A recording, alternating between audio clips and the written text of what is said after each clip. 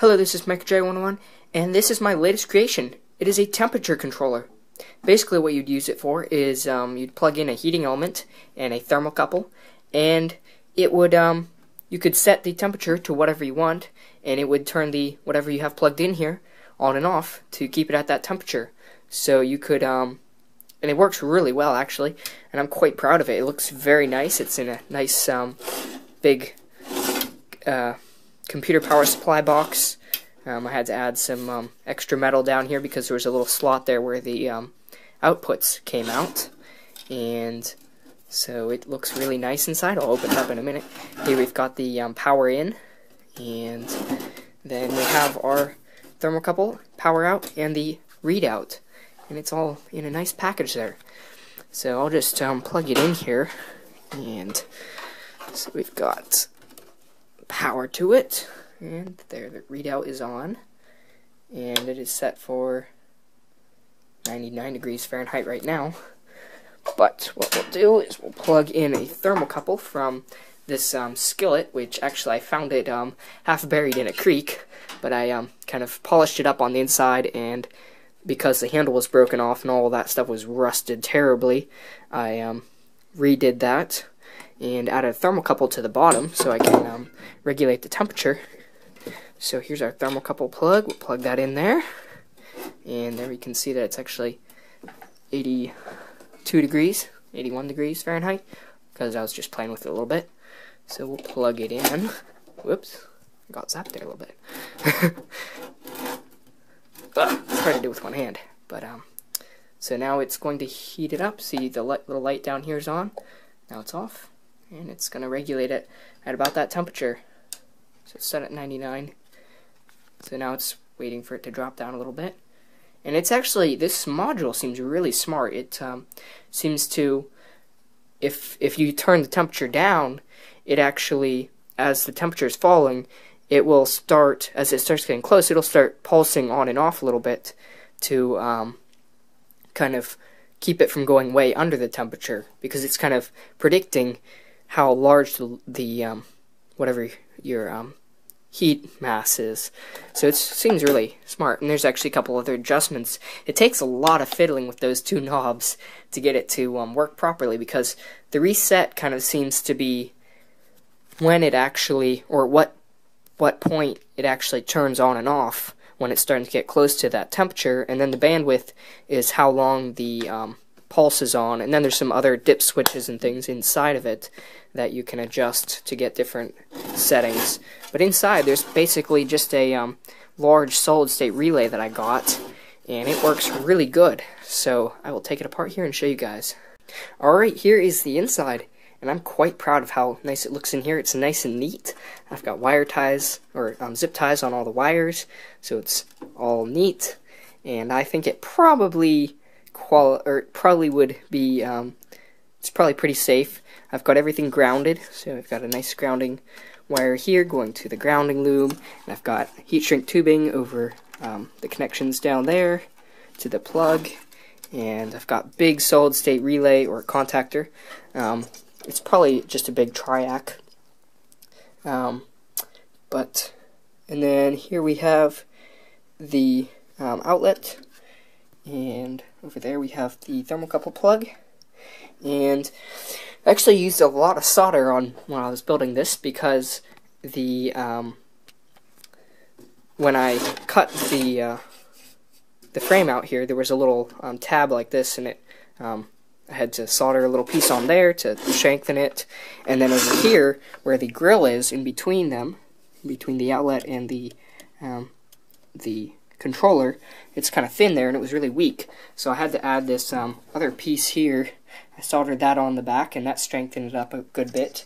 So now it's nice and rigid there. And then I had to solder this um, little L piece on here because there was a gap here from the main circuit board that used to be in here. So I had to solder that on there. And then for the contactor, it's um, designed to be rail mounted. So I made this little piece of metal here, bent it up, and made a kind of rail. and I soldered that on there. So it's it shouldn't be going anywhere, I don't think. I mean, if you drop it on the ground, it's going to break off, but I mean, this would probably break off too, because it's just kind of attached with these um, little um, screw here that tightens this against the frame. So it's not actually that secure, but I guess it works. so that's why I had to add this, because it's just um, connected. It's all the weight is kind of pushing on there, so it's it wasn't very strong before or sturdy, but um, it's all good now. So so yeah. Um, but these these modules seem like they're awfully expensive and good quality. Um, on eBay, I was looking at looking at the same or similar models of these, and they go for like I don't know, at least a hundred dollars for these things. But um, I guess they're good quality. So, but yeah. And there's actually a whole bunch of different um, varieties of these. Some of them have relays and things. That's why X is out because this um, version doesn't have the relays. It only has the output for a solid state relay. Basically, it's just 20 milliamps, um, 20 volts is the output. So that's why I used this, and I got both these things for free. So um, all from my dad's work. Um, but yeah, so pretty nice unit. I really like it. So, so yeah. I think it probably would pass um, safety inspections and things. The only thing it's lacking is a fuse. I thought about putting a like just a normal little fuse holder, um, like uh, like uh, like one of these in it, but I didn't really think. Well, most of these can't even handle um, 15 amps they're rated for like 10 amps or something like that. So I didn't really think that would, um, because I might want to run something that does 15 amps.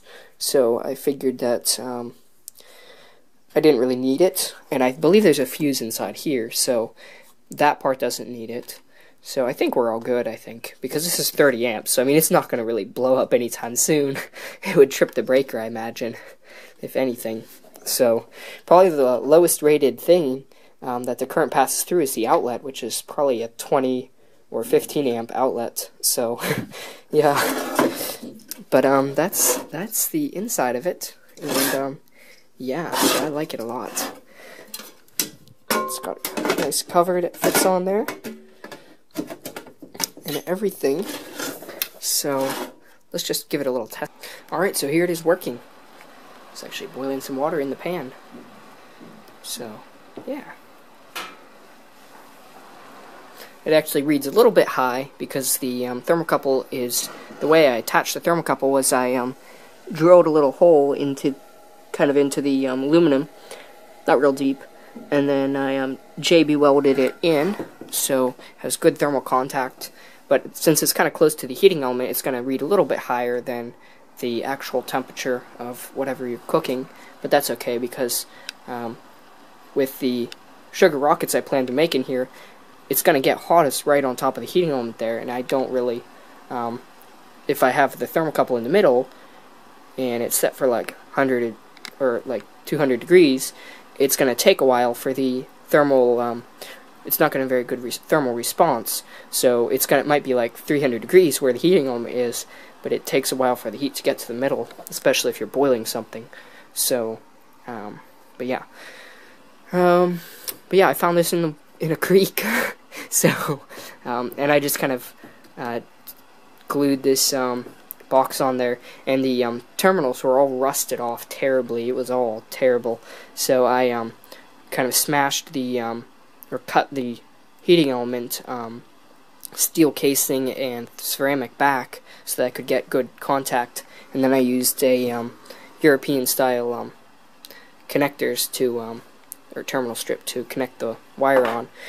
And you might be thinking this wire is a little bit thin looking, which I thought that as well. I was originally going to use this wire because it looked really fat, and but actually these two wires had the exact same rating, and that was the highest rating I could find in my box of wires, which is quite big.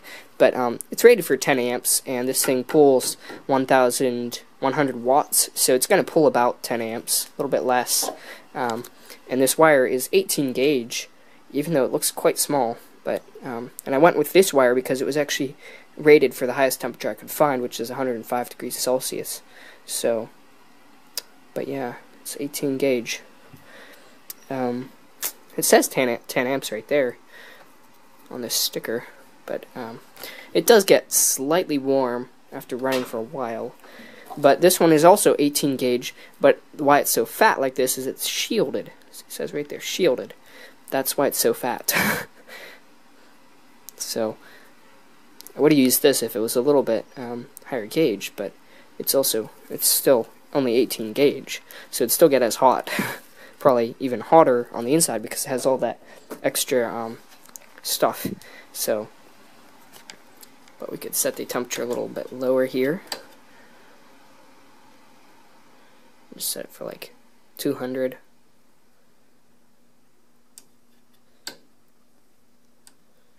So it stopped boiling now.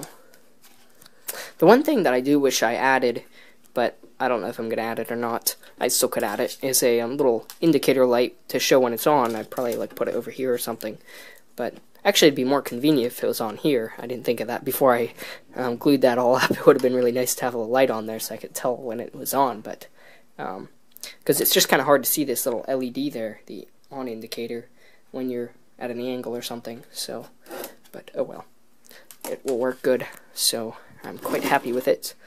Other than that, and I probably should also add a um, um, a fuse or something just for safety. But maybe I could just add like a internal fuse like this or something. But oh well. Um, so yeah, tell me what you guys think. Um, that's about it. So now that it's getting nicer, I'll and I have this all set up, I should be able to start making some sugar rockets now. So I'll do some experiments with that sometime when I get some time. So that's about it, guys. Thanks for watching.